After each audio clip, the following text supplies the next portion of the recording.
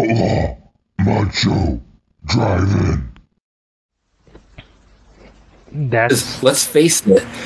Um, Cody, uh, Kenny Omega, he did his whole babyface thing when he when AW first started, and let's just the goal probably what always was for him to become top heel in AEW eventually, and he's yeah. achieved that.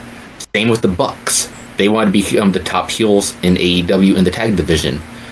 And you look at Cody, and Cody has become kind of the anti gatekeeper of AEW. He's like he's like the high end gatekeeper. That's what he is. He's yes, yes. He, Which he, honestly, he's a great. Through, go through him. Yeah, because honestly, he's a great gatekeeper. No one's making it through the gate.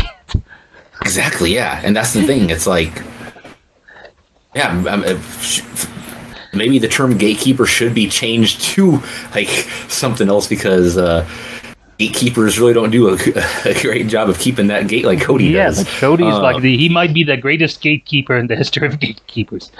yeah. Wow. A revelation right here. Um, and the finally, what does being a gatekeeper mean? That's that's making you yeah. sick. And it's the truth with it. Thank you for joining us on the Outlaw Mudshow Drive-In. If you like that video, please click like and subscribe to our channel for more content from the drive-in.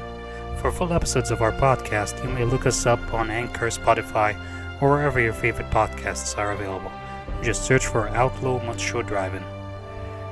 And if it's not too much trouble, would you help us out here? Spread the word, share. We would really appreciate it. Thank you. We love you. Bye.